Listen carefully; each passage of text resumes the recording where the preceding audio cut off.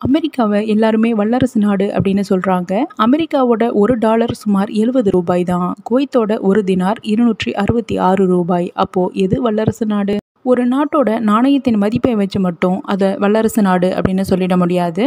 அமெரிக்க வர்த்தகத்தோட மதிப்பு இருபத்தி ஒன்று புள்ளி நாலு நாலு ட்ரில்லியன் அமெரிக்க டாலர்கள். குவைத்தோட பொருளாதார வர்த்தகத்தின் மதிப்பு முன்னூற்றி நாலு புள்ளி எட்டு அஞ்சு ஒன்று பில்லியன் அமெரிக்க டாலர்கள் மட்டும்தான். அனைத்து நாடுகளுமே டாலருக்கு பின்னாடி தான் போகிறாங்க இந்தியா குவைத்தையும் சேர்த்து தான் குவைத் அல்லது இந்திய நாணயம் அந்த நாட்டை விட்டு வெளியில் போணுச்சு அப்படின்னா அதோட மதிப்பு பூஜ்ஜியம் தான் அது வெறும் காகிதத்தாள் மட்டும்தான். ஆனால் அமெரிக்க நாணயம் வெளியில் போணுச்சு அப்படின்னா அதுக்கு மதிப்பு இருக்குது அமெரிக்கா எந்த உலக அரசியலையுமே கட்டுப்படுத்த முடியும். அமெரிக்கா விரும்பினுச்சு அப்படின்னா எந்த நாட்டையும் ஆக்கிரமிக்கவும் கூட முடியும்.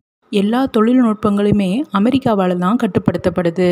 எல்லா பெரிய நிறுவனங்களும் அமெரிக்காவை தலைமையிடமாக கொண்டு தான் இயங்குது. இப்போ சொல்லுங்க பார்க்கலாம். யார் வல்லரசு நாடுன்னு? அதனால தான் அமெரிக்க தேர்தல் எல்லா நாடுகளாலேயுமே எதிர்பார்க்கப்படுது. இது அமெரிக்காவை புகழ்றதுக்காக கிடையாது. ஆனால் இதுதான் யதார்த்தம்.